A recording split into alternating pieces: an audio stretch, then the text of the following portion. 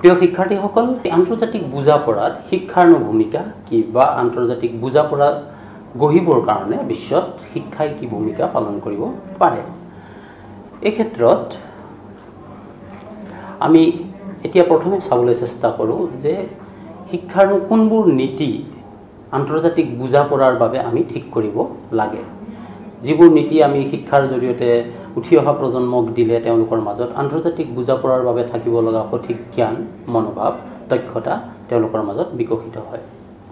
গতিকে ইয়াৰ বাবে আমি আমাৰ শিক্ষাত আমি কি কৰিব লাগিব? আমি স্বাধীনতা বা ইণ্ডিপেণ্ডেঞ্চ এই বিভিন্ন আমাৰ অৰ্থনৈতিক জীৱনৰ স্বাধীনতা আমাৰ ব্যক্তিগত জীৱনৰ স্বাধীনতা আমাৰ ৰাজনৈতিক জীৱনৰ স্বাধীনতা এই সম্পৰ্কে আমি শিক্ষাৰ্থীক সৰুৰে পৰা শিকাব লাগিব বা সজাগ কৰি তুলিব লাগিব। দ্বিতীয় গুৰুত্বপূৰ্ণ কথাটো হৈছে কি মই কৈছোঁৱেই পূৰ্বতে যে আন্তৰ্জাতিক বুজাপৰা মানে হৈছে প্ৰত্যেক দেশৰ মানুহৰ মাজত শাৰীৰিক পাৰ্থক্য আছে সংস্কৃতিৰ পাৰ্থক্য আছে তেওঁলোকৰ ভাষাৰ পাৰ্থক্য আছে তেওঁলোকৰ জীৱন ধাৰণৰ মানদণ্ডৰ পাৰ্থক্য আছে তেওঁলোকৰ চিন্তা চৰ্চাৰ পাৰ্থক্য আছে। অৰ্থাৎ পাৰ্থক্যটোত আছে। এতিয়া বুজা পৰা কাক ক'ব? আমি ইখনে দেশে সিখন দেশৰ বা এজন নাগৰিকে অন্য এজন নাগৰিকৰ মাজত থকা এই পাৰ্থক্যখিনিক আমি সন্মান সহকাৰে গ্ৰহণ কৰিম। সেইখিনিক আমি স্বাভাৱিক বুলি গণ্য কৰিম আৰু কৰি সেই ব্যক্তিজনৰ সংস্কৃতিক সেই সংস্কৃতি ব্যক্তিজনৰ ভাষাক বা সেই ব্যক্তিজনৰ জীৱন ধাৰণক আমি কি কৰিম? মানি ল'ম। মানি লৈ পেলাই আমি তেওঁক এজন আমাৰ নিচিনাই এজন সুহৃদ বা এজন বন্ধু বুলি মানি ল'ম। গতিকে তাৰ কাৰণে আমাক এটা ডাঙৰ গুণ লাগিব সেইটো হৈছে সহিষ্ণুতা। অৰ্থাৎ আনৰ ভাষাৰ প্ৰতি আনৰ সংস্কৃতিৰ প্ৰতি আনৰ জীৱন ধাৰণৰ প্ৰতি মানুহৰ কি থাকিব লাগিব? এক সহিষ্ণুতাৰ ভাৱ থাকিব লাগিব। আৰু এই সহিষ্ণুতাৰ ভাৱটো সৰুকালৰ পৰাই শিক্ষাৰ্থীৰ মনত আমি শিক্ষাৰ জৰিয়তে তাৰ বীজটো ৰোপণ কৰিব লাগিব। কাৰণ আমি সকলো মানুহ আৰু এই মানুহ হিচাপে আমি যি ধৰণে চিন্তা কৰোঁ আমি যি ধৰণে এটা ভাষা কওঁ আমি যি ধৰণে আমাৰ জীৱন ধাৰণৰ বিভিন্ন কাম কাজবোৰ কৰোঁ ঠিক তেনেকৈ অন্য এটা গোষ্ঠীৰ অন্য এখন দেশৰ মানুহেও ঠিক তেনেকৈ তেওঁলোকৰ ভাষা তেওঁলোকৰ সংস্কৃতিক পালন কৰে। গতিকে এই কথাটোক আমি পাৰস্পৰিক সহযোগিতা আৰু সহিষ্ণুতাৰ মাধ্যমেদি বুজি পাব লাগিব। আৰু তাক যাতে আমি সঠিকভাৱে শিশুৰ মনত সৰুৰ পৰাই গঢ়ি তুলিব পাৰোঁ তাৰ কাৰণে আমি শিক্ষাত তেনেধৰণৰ নীতি অৱলম্বন কৰিব লাগিব। তাৰপিছত আহিল যে আমি শিক্ষাৰ্থীক দেশপ্ৰেমৰ যেতিয়া আমি সংজ্ঞা বা দেশপ্ৰেম সম্পৰ্কে শিকাম সেই দেশপ্ৰেম সম্পৰ্কে শিকাবলৈ যাওঁতে আমি সতৰ্ক হ'ব লাগিব যাতে শিক্ষাৰ্থীৰ মনত সংকীৰ্ণ দেশপ্ৰেম জাগ্ৰত হৈ নুঠে। এতিয়া সংকীৰ্ণ দেশপ্ৰেম মানে হৈছে কি? ধৰক ভাৰতীয় এজন শিক্ষাৰ্থীয়ে কেৱল ভাৰতবৰ্ষকহে ভাল পাব।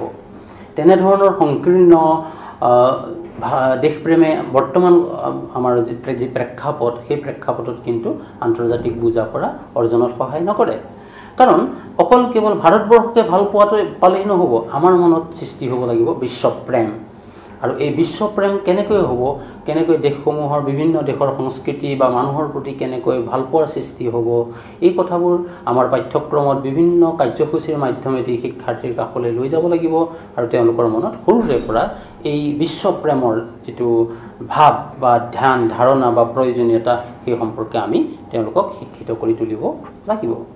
ইয়াৰ পিছত হ'ল কি এটা আমি আমাৰ এজন ব্যক্তিৰ অন্য এজন ব্যক্তিৰ প্ৰতি থকা ভয় বা এখন দেশৰ অন্য এখন দেশৰ প্ৰতি থকা ভয় এই যিটো ভয় এই ভয়ৰ যিটো পৰিৱেশ এই পৰিৱেশটোক আমি নাইকিয়া কৰিব লাগিব। কাৰণ যদি এক আমাৰ চুবুৰীয়া দেশখনৰ প্ৰতি আমাৰ ভয় থাকে বা আমাৰ চুবুৰীয়া দেশখনৰ যদি আমাৰ প্ৰতি ভয় থাকে তেনেহ'লে নিশ্চয় তেওঁলোকৰ তাতে শান্তি বাহাল নাথাকিব। আৰু যদি শান্তিয়ে বাহাল নাথাকে তেনেহ'লে স্বাভাৱিকতে ব্যক্তিগত বা সামাজিক জীৱনত উন্নতিও নাথাকিব। গতিকে দেশসমূহৰ মাজত এক পাৰস্পৰিক বুজাবুজিৰ সম্পৰ্কৰ মাজেদি মানুহৰ লগত মানুহৰ সম্পৰ্কৰ মাজেদি আমি এই ভয়টো নাইকিয়া কৰিব লাগিব। সেইকাৰণে শিক্ষাত এটা নীতি হ'ব লাগে যাতে আমি পাঠ্যক্ৰমত শিক্ষাৰ্থীক পাঠ্য বিষয়ৰ জৰিয়তে বা সহ পাঠ্যক্ৰমিক কাৰ্যাৱলীৰ জৰিয়তে আমি এনেধৰণৰ কিছুমান কাৰ্যসূচী ল'ব লাগিব যিবোৰৰ জৰিয়তে শিক্ষাৰ্থীৰ মনত অন্য দেশৰ প্ৰতি থকা ভয় বা উৎকণ্ঠা এই কথাবোৰ তেওঁলোকৰ মনৰ পৰা যাতে নাইকিয়া হয়। আৰু এটা কথা হৈছে কি যে সৰুৰে পৰা আমি শিক্ষাৰ্থীসকলক যিটো বিশ্বজনীন স্বাধীনতা এই বিশ্বজনীন স্বাধীনতা প্ৰতি আমি তেওঁলোকৰ বিশ্বাস জন্মাব লাগিব। ইয়াৰ অৰ্থটো হৈছে যে বিশ্বজনীন স্বাধীনতা মানে কেৱল আমাৰ নিজৰ দেশখনৰ মানুহৰ মানুহে স্বাধীনতা উপভোগ কৰিলে নহ'ব এই স্বাধীনতা আফ্ৰিকাৰ প্ৰত্যেকখন দেশে এছিয়াৰ প্ৰত্যেকখন দেশে বা ইউৰোপৰ প্ৰত্যেকখন দেশে প্ৰতিজন নাগৰিকে এই স্বাধীনতা ব্যক্তিগত জীৱনত সামাজিক জীৱনত ৰাজনৈতিক জীৱনত অৰ্থনৈতিক জীৱনত যাতে উপভোগ কৰিব পাৰে। গতিকে তাৰ কাৰণে সৰুৰ পৰাই শিশুসকলৰ মনত এই বিশ্বজনীন যিটো স্বাধীনতা অৰ্থাৎ মানৱৰ যিটো স্বাধীনতা জন্মগত যিটো স্বাধীনতা বা এই স্বাধীনতাৰ পৰিৱেশে আনি দিয়া যিটো বিকাশৰ সুবিধা এই সুবিধাটো বা এই বিশ্বাসটো সকলোৰে মনত আমি জাগ্ৰত কৰিব লাগিব। আৰু দ্বিতীয় কথাটো হ'ল যে আমি সঠিক মূল্যবোধ শিক্ষাৰ্থীসকলৰ মনত সৰুৰে পৰা গঢ় দিব লাগিব। আৰু এই নিশ্চয় এই মন সঠিক মনোভাৱবোৰ নিশ্চয় হ'ব সহানুভূতি পৰানুভূতি বা সহযোগিতা ভাতৃত্ববোধ আদিৰ দৰে এই সুন্দৰ সুন্দৰ মূল্যবোধবোৰ সৰুকালৰ পৰাই ল'ৰা ছোৱালীক শিক্ষাৰ যোগেদি আমি দিব লাগিব। তাৰ উপৰিও আমাৰ যিটো কৰ্পৰেট ৰেচপনচিবিলিটি এই কৰ্পৰেট ৰেচপনচিবিলিটিটো আমি কি কৰিব লাগিব? শিক্ষাৰ্থীৰ মনত যে আমি এই সমগ্ৰ বিশ্বৰ সকলো নাগৰিক সমান আৰু এই বিশ্বৰ সকলো নাগৰিকৰেই যাতে যাতে কল্যাণ হয় আৰু তাৰ কাৰণে যিটো আমি কৰিব লগা আমাৰ দায়বদ্ধতা দায়িত্ব আমাৰ দায়িত্ব বা ইখন দেশৰ দায়িত্ব সিখন দেশৰ দায়িত্ব এই দায়িত্ববোৰৰ কথা সৰুকালৰ পৰাই ল'ৰা ছোৱালীৰ মনত জাগ্ৰত কৰিব লাগিব। আৰু এটা গুৰুত্বপূৰ্ণ কথা হৈছে যে আন্তৰ্জাতিক বুজাপৰাৰ বাবে কেৱল আমি তত্ত্বগত জ্ঞান শিক্ষাৰ্থীক দিলেই নহ'ব। তেওঁলোকে আন্তৰ্জাতিক বুজাপৰাৰ বাবে অৰ্জন কৰা বিভিন্ন জ্ঞান বিভিন্ন কৌশল বা বিভিন্ন কাৰ্যসূচীক তেওঁলোকে ভৱিষ্যতে যাতে দৈনন্দিন জীৱনত তেওঁলোকে তাক প্ৰয়োগ কৰিব পাৰে যাৰ জৰিয়তে বিশ্ব শান্তি বা আন্তৰ্জাতিক বুজাপৰা বা মানৱ কল্যাণত সহায়ক হয় সেই কথাটোৰ ওপৰত গুৰুত্ব দিব লাগে। সেইকাৰণে আমি এটা কথা সদায় লক্ষ্য কৰিব লাগে যে আমি শিক্ষা যেতিয়া আমি প্ৰস্তুত কৰিম বা শৈক্ষিক কাৰ্যসূচী যেতিয়া আমি প্ৰস্তুত কৰিম তেতিয়া আমি এই নীতিসমূহ মনত ৰাখিম আৰু এই নীতিসমূহৰ আধাৰত আমি আমাৰ শিক্ষাৰ্থীসকলৰ বাবে পাঠ্য বিষয় প্ৰস্তুত কৰিম শিক্ষাৰ্থীসকলৰ বাবে সহপাঠ্যক্ৰমিক কাৰ্যসূচী গ্ৰহণ কৰিম যাতে শিক্ষাৰ্থীসকলৰ জ্ঞান মনোভাৱ দক্ষতা আন্তৰ্জাতিক বুজা পৰা গঢ়িবৰ বাবে সঠিকভাৱে বিকশিত হয়। এই ক্ষেত্ৰত ইউনেস্কোৱে তেওঁলোকৰ আন্তৰ্জাতিক বুজা পৰা সুনিশ্চিত কৰিবৰ বাবে কিছুমান নীতি নিৰ্ধাৰণ কৰি দিছে। এইবোৰ হৈছে to educate mankind of the world community অৰ্থাৎ সমগ্ৰ বিশ্বক বা এই মানৱ জাতিক তেওঁলোকে আন্তৰ্জাতিক বুজা পৰাৰ ক্ষেত্ৰত শিক্ষিত কৰাৰ ওপৰত গুৰুত্ব আৰোপ কৰিছে। আৰু এটা গুৰুত্ব আৰোপ কৰিছে যে যিবোৰ আন্তৰ্জাতিক সংস্থা আছে যেনে ৰাষ্ট্ৰসংঘ বা তাৰ অধীনত যেনে ইউনেস্কো ইউনিচেফ আদিৰ দৰে যিবোৰ বিশ্বজনীন সংস্থা আছে এই সংস্থাবোৰৰ কাম কাজত বা তেওঁলোকে দিয়া দিশ নিৰ্দেশনাত সকলোৱে যাতে সহযোগ কৰে সেইটোৰ ওপৰত গুৰুত্ব দিছে।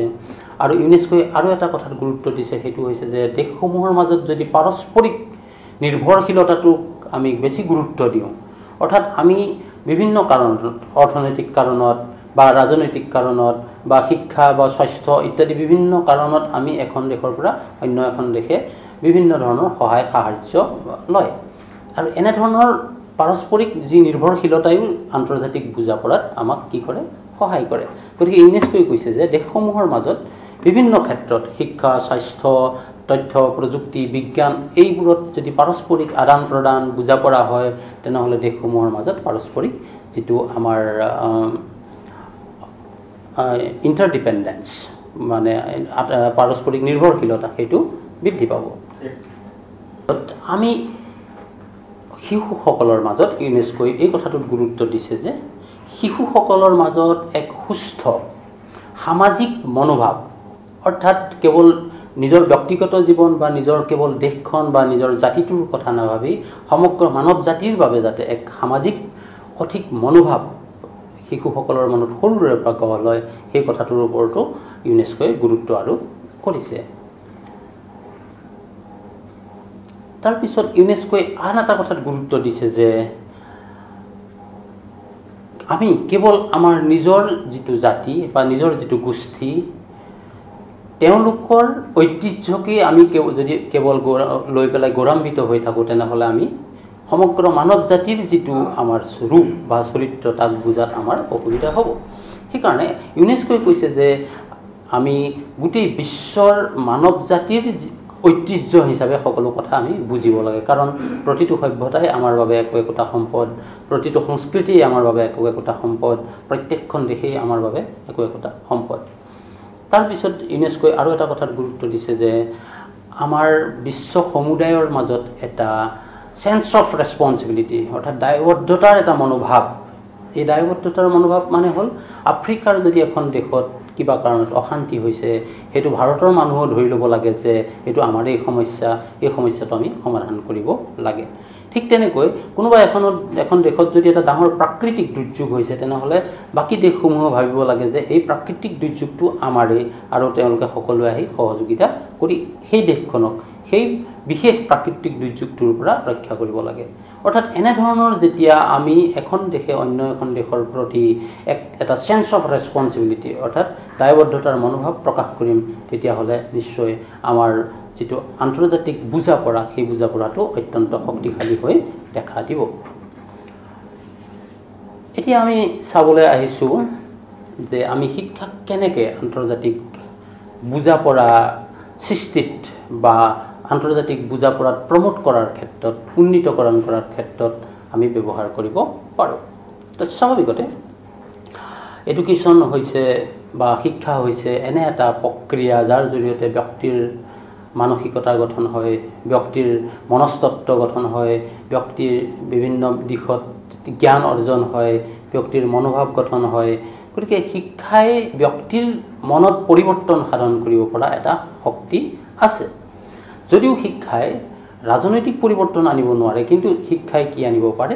মানুহৰ মনৰ পৰিৱৰ্তন আনিব পাৰে। আৰু স্বাভাৱিকতে যদি আমি শিক্ষাক আন্তৰ্জাতিক বুজা পৰা সৃষ্টিৰ কাৰণে আমি ব্যৱহাৰ কৰিব বিচাৰোঁ তেনেহ'লে নিশ্চয় আমি কি কৰিব লাগিব?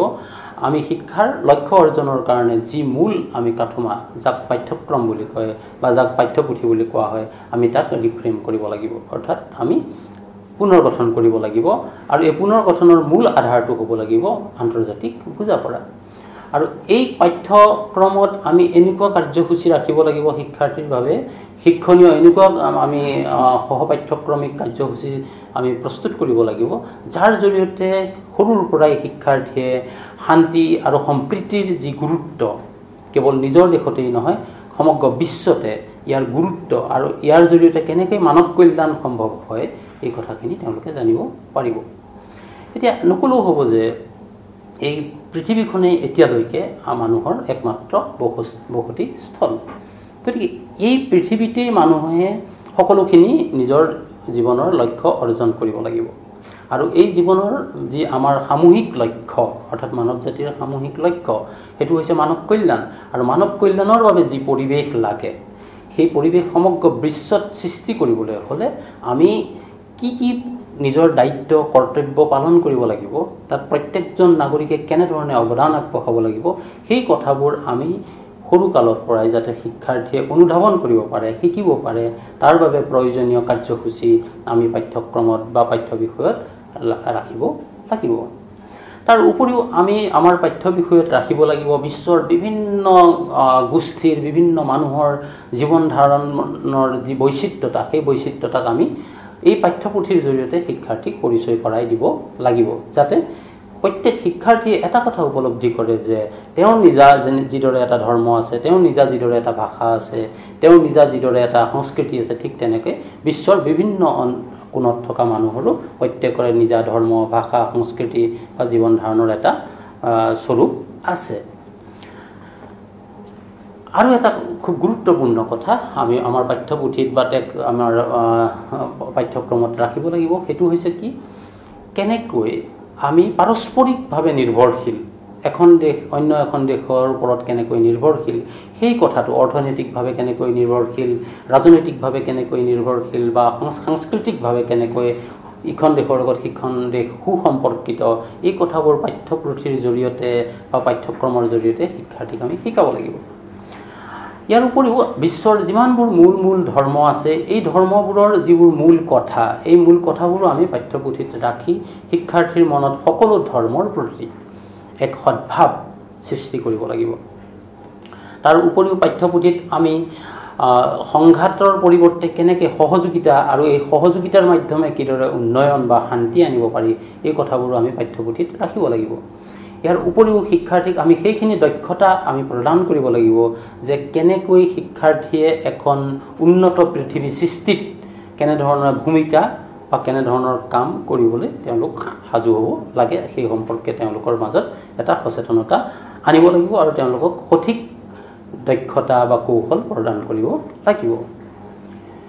তাৰ উপৰিও আমি যিবোৰ আমি সহপাঠ্যক্ৰমিক কাৰ্যসূচী আমি শিক্ষাৰ্থীসকলক দিম যেনে আমি চৌবিছ অক্টোবৰৰ দিনটো ৰাষ্ট্ৰসংঘ দিৱস ঠিক তেনেকৈ দহ ডিচেম্বৰৰ দিনটো মানৱ অধিকাৰ দিৱস ঠিক তেনেকৈ সাত এপ্ৰিলটো বিশ্ব স্বাস্থ্য দিৱস এই বিভিন্ন যিবোৰ আন্তৰ্জাতিক দিৱস এই দিৱসবোৰ যদি আমি বিদ্যালয় মহাবিদ্যালয়বোৰত আমি পালন কৰোঁ তেনেহ'লে প্ৰত্যেক শিক্ষাৰ্থীয়ে সৰুকালৰ পৰাই বুজিব যে মানৱ অধিকাৰনো কি ইয়াকনো কিয় বিশ্বজনীনভাৱে লাগে বা ৰাষ্ট্ৰসংঘ দিৱসনো কি ইয়াকনো কিয় আমি পালন কৰিব লাগে বা বিশ্ব স্বাস্থ্য দিৱস মানেনো কি আৰু ইয়াৰ জৰিয়তেনো কি বাৰ্তা প্ৰেৰণ কৰা হৈছে এই কথাবোৰ সৰুকালৰ পৰাই উপলব্ধি কৰিব পাৰিব। তাৰ উপৰিও যিবোৰ মহান মনীষীয়ে মানৱ সভ্যতালৈ বৰঙণি যোগাই গৈছে যেনে মহাত্মা গান্ধী যেনে নেলচন মাণ্ডেলা এইসকল মহান মহান ব্যক্তিৰ জন্মদিনো আমি বিদ্যালয়ত উদযাপন কৰিব লাগে। তাৰ উপৰিও শিক্ষাৰ্থীসকলক অন্যান্য দেশৰ তেওঁলোকৰ সহপাঠীৰ লগত বন্ধুত্ব গঢ়াৰ বিভিন্ন সুযোগ সুবিধা দিব লাগে। তাৰ উপৰিও বিদ্যালয়ত কেতিয়াবা বিশ্ববিখ্যাত যিবোৰ নাটক যিবোৰে বিশ্বজনীন বাৰ্তা বিশ্ব মানৱ প্ৰেমৰ বাৰ্তা কঢ়িয়াই সেই নাটকসমূহো আমি তেওঁলোকক দেখাব লাগে বা তেওঁলোকৰ দ্বাৰা আমি কৰোৱাবৰ চেষ্টা কৰিব লাগে। তাৰ উপৰিও যিবোৰ আন্তৰ্জাতিক বুজা পৰাৰ লগত জড়িত বিষয় আছে সেই বিষয়সমূহো আমি বিদ্যালয় বা মহাবিদ্যালয়ত আমি তৰ্ক বা বিতৰ্ক আমি কৰিব পাৰোঁ। যাৰ জৰিয়তে ল'ৰা ছোৱালীয়ে নিজৰ মনত নিজৰ যুক্তি বা নিজৰ যিটো বিচাৰধাৰা বিভিন্ন বিষয়ৰ ওপৰত দাঙি ধৰিব পাৰিব আৰু ইয়াৰ জৰিয়তে তেওঁলোকে ভৱিষ্যতে কেনেকৈ বিশ্ব নাগৰিক হ'ব পাৰে তাৰ এটা দৃষ্টিভংগী তেওঁলোকে ডেভেলপ কৰিব পাৰিব। ইয়াৰ উপৰিও যেতিয়া বিভিন্ন দেশত কিবা সমস্যা হয় বা প্ৰাকৃতিক দুৰ্যোগ হয় সেই দেশবোৰক সহায় কৰিবৰ বাবে শিক্ষাৰ্থীৰ মাজত আমি যিটো সাহাৰ্য পুঁজি গঠন কৰিবলৈ উৎসাহ কৰিব লাগে যাতে তেওঁলোকে এই শিক্ষাৰ্থী জীৱনৰ পৰাই কেনেকৈ অন্য দেশৰ নাগৰিকক বিপদৰ সময়ত সহায় কৰিব লাগে সেই মনোভাৱসমূহ গঢ় লৈ উঠে। ইয়াৰ উপৰিও আমি সম সুযোগ সুবিধা পালে আমাৰ বিদ্যালয় বা মহাবিদ্যালয়সমূহলৈ বিদেশী ছাত্ৰ ছাত্ৰী বা বিদেশী পণ্ডিতক নিমন্ত্ৰণ কৰি আনিব লাগে আৰু তেওঁলোকৰ বহুমূলীয়া ভাষণ বা তেওঁলোকৰ বহুমূলীয়া বক্তব্য আমাৰ শিক্ষাৰ্থীসকলৰ সন্মুখত উপস্থাপন কৰাৰ সুযোগ দিব লাগে বা শিক্ষাৰ্থীসকলকো সেই পণ্ডিতসকল বা সেই শিক্ষাৰ্থীসকলৰ লগত ভাৱ প্ৰদান কৰাৰ সুবিধা দিব লাগে। এনেধৰণৰ সুবিধাই এক বিশ্বপ্ৰেম সৃষ্টি কৰাত নিশ্চয় সহায় কৰিব। আৰু এই গোটেই প্ৰক্ৰিয়াটোত নকলেও হ'ব যে যিকোনো পাঠ্যক্ৰম বা যিকোনো আমি সহ পাঠ্যক্ৰম সঠিকভাৱে ইয়াৰ মূল উদ্দেশ্য সাৰ্থক কৰিবৰ কাৰণে আমি মূল যিটো চালিকা শক্তি সেই চালিকা শক্তিটো হৈছে শিক্ষক। গতিকে শিক্ষক এজনে শিশুৰ মনত আন্তৰ্জাতিক বুজাপৰা সৃষ্টিৰ বাবে কৰিবলগীয়া সকলো কাম যাতে সঠিকভাৱে কৰে। তাৰ কাৰণে প্ৰধান চৰ্তটোৱেই হৈছে যে প্ৰত্যেকজন শিক্ষকৰ মনতে সমাজ বা বিশ্বৰ প্ৰতি যিটো আন্তৰ্জাতিকতাবাদ বা যিটো আন্তৰ্জাতিক যিটো ভাৱধাৰা সেই ভাৱধাৰাটো তেখেতৰ নিজৰ মনত থাকিব লাগিব। গতিকে শিক্ষক এজনে যেতিয়া নিজৰ মনত এই মানৱ প্ৰেম থাকিব বিশ্ব প্ৰেম থাকিব বা এই আন্তৰ্জাতিকতাবাদত বিশ্বাস কৰিব তেতিয়াহে তেওঁ সঠিকভাৱে শিক্ষাৰ্থীক এই আন্তৰ্জাতিক বুজা পৰাৰ ক্ষেত্ৰত সঠিক মনোভাৱ বা সঠিক দক্ষতা গঢ় দিব পাৰিব। সেইকাৰণে প্ৰত্যেক শিক্ষকেই নিজৰকে প্ৰথমে এজন বিশ্ব নাগৰিক হিচাপে গঢ়ি তোলাটো অত্যন্ত দৰকাৰ। আৰু এনে কৰিব পাৰিলেহে তেখেতসকলে তেখেতসকলৰ শিক্ষাৰ্থীক আন্তৰ্জাতিক যিটো স্পিৰিট বা যিটো আন্তৰ্জাতিক বা বিশ্বজনীন যিটো আমাৰ মনস্তত্ব বা মন সেইটো শিক্ষাৰ্থীৰ মনত সৃষ্টি কৰিব পাৰিব। তাৰ উপৰিও শিক্ষকে শিক্ষাৰ্থীৰ মনত অন্য দেশৰ প্ৰতি উৎসুক কৰি তুলিব লাগে। অন্য দেশৰ ভূগোল অন্য দেশৰ বুৰঞ্জী অন্য দেশৰ ইতিহাস অন্য দেশৰ কৃতিত্বৰ প্ৰতি তেওঁলোকক আগ্ৰহান্বিত কৰিব লাগে যাতে তেওঁলোকে শিক্ষাৰ্থীসকলে সেইসমূহ অধ্যয়ন কৰি বুজি পায় যে কেনেকৈ আমি বিভিন্ন দেশত হোৱা বিভিন্ন আৱিষ্কাৰ বা বিভিন্ন জ্ঞানৰ দ্বাৰা আমি উপকৃত হৈছোঁ। এনেধৰণৰ যেতিয়া ধাৰণা বা সঠিক বাৰ্তা শিক্ষাৰ্থীয়ে পাব তেতিয়া তেওঁলোকৰ মনত স্বতঃস্ফূৰ্তভাৱে আন্তৰ্জাতিক বুজা পৰাৰ ভাৱ সৃষ্টি হ'ব। গতিকে এনেধৰণৰ ভাৱধাৰা সৃষ্টি কৰিবৰ কাৰণে আমি শিক্ষাৰ্থীক বুৰঞ্জী চিভিক্স বা সমাজ অধ্যয়ন নিশ্চয় পঢ়াব লাগিব। তাৰ উপৰিও আমি যিবোৰ আমি বিশ্বজনীনভাৱে উদযাপন কৰা বিভিন্ন যেনে মানৱ অধিকাৰ দিৱস যেনে ৰাষ্ট্ৰসংঘ দিৱস যেনে বিশ্ব শান্তি দিৱস এই গোটেই ইম্পৰ্টেণ্ট যিবোৰ গুৰুত্বপূৰ্ণ দিন এইবোৰ আমি উদযাপন কৰিব লাগিব। ঠিক তেনেকৈ আমি মানে শিক্ষা যিসকল আমাৰ প্ৰাপ্তবয়স্ক লোক আছে তেখেতসকলকো শিক্ষকসকলে এই আন্তৰ্জাতিকতাবাদৰ শিক্ষা দিব লাগিব। ইয়াৰ উপৰিও শিক্ষকসকলে চেষ্টা কৰিব লাগে যাতে ওচৰ চুবুৰীয়া দেশবোৰৰ লগত আমাৰ শিক্ষাৰ্থীসকলৰ সাংস্কৃতিক বিনিময় কাৰ্যসূচী যাতে হয় যাৰ জৰিয়তে তেওঁলোকে ওচৰ চুবুৰীয়া দেশবোৰৰ শিক্ষাৰ্থীৰ লগত বাৰ্তালাপ কৰিব পাৰে তেওঁলোকৰ লগত নিজৰ সংস্কৃতিৰ আদান প্ৰদান কৰিব পাৰে আৰু ইয়াৰ মাধ্যমেদি তেওঁলোকে এক আন্তৰ্জাতিক মনোভাৱ সৰুকালৰ পৰাই ডেভেলপ কৰিব পাৰে। ইয়াৰ উপৰিও আমি বিভিন্ন ধৰণৰ আন্তৰ্জাতিক কেম্প বা বিভিন্ন ধৰণৰ এনেধৰণৰ কেম্প তৈয়াৰ কৰিব পাৰোঁ য'ত বিভিন্ন দেশৰ শিক্ষাৰ্থী আহি একেলগে থাকি খেলা ধূলা গান বাজানা বা বিভিন্ন সমাজ সেৱাৰ নিচিনা কাম কৰিব পাৰে। ইয়াৰ উপৰিও আমি শিক্ষাৰ্থীসকলৰ বাবে বিভিন্ন ধৰণৰ সাংস্কৃতিক বা ষ্টাডি টুৰৰ ব্যৱস্থা কৰিব পাৰোঁ। আমি বিভিন্ন ধৰণৰ সাংস্কৃতিক অনুষ্ঠান আয়োজন কৰিব পাৰোঁ আৰু আমি ষ্টুডেণ্টক আমি যদি সুবিধা হয় অন্য দেশলৈ পঠাবও পাৰোঁ। এনেধৰণে আমি কি কৰিব পাৰোঁ শিক্ষাৰ্থীৰ মনত আন্তৰ্জাতিক বুজাপৰা সৃষ্টি কৰিব পাৰোঁ। তাৰ উপৰিও আমি আমাৰ বিভিন্ন শিক্ষানুষ্ঠানসমূহক যদি এটা আন্তৰ্জাতিক চৰিত্ৰ প্ৰদান কৰিব পাৰোঁ অৰ্থাৎ য'ত বিশ্বজনীন চিন্তাধাৰা বিশ্বজনীন ভাৱধাৰাক লৈ পেলাই বিভিন্ন কাৰ্যসূচী লোৱা হয় বিভিন্ন ধৰণৰ শিক্ষা দিয়া হয় এনেধৰণৰ কাৰ্যসূচীৰ জৰিয়তে আমি কি কৰিব পাৰোঁ শিক্ষাৰ্থীসকলৰ মনত আন্তৰ্জাতিক বুজা পৰাৰ ক্ষেত্ৰত এক সঠিক মনোভাৱ আনিব পাৰোঁ। গতিকে আজি আমি এই পাত্ৰী ইমানতে সামৰিছোঁ। আমি আশা কৰিছোঁ আপোনালোকে আন্তৰ্জাতিক বুজা পৰা মানে কি? এই আন্তৰ্জাতিক বুজা পৰাৰ প্ৰয়োজনীয়তা কি? আৰু এই আন্তৰ্জাতিক বুজা পৰা সৃষ্টিৰ বাবে শিক্ষাত কি কি নীতি থকা দৰকাৰ? আৰু শিক্ষাইনো কেনেকৈ আন্তৰ্জাতিক বুজা পৰা সৃষ্টিত এক ভূমিকা পালন কৰিব পাৰে? আৰু ইয়াত শিক্ষকে কি ধৰণৰ ভূমিকা পালন কৰিব পাৰে এই গোটেই কথাখিনি আমি সামৰি এই ভিডিঅ'টি আপোনালোকলৈ আগবঢ়াইছোঁ। আশা কৰোঁ আপোনালোকে এই ভিডিঅ'টি চাই উপকৃত হ'ব। ধন্যবাদ।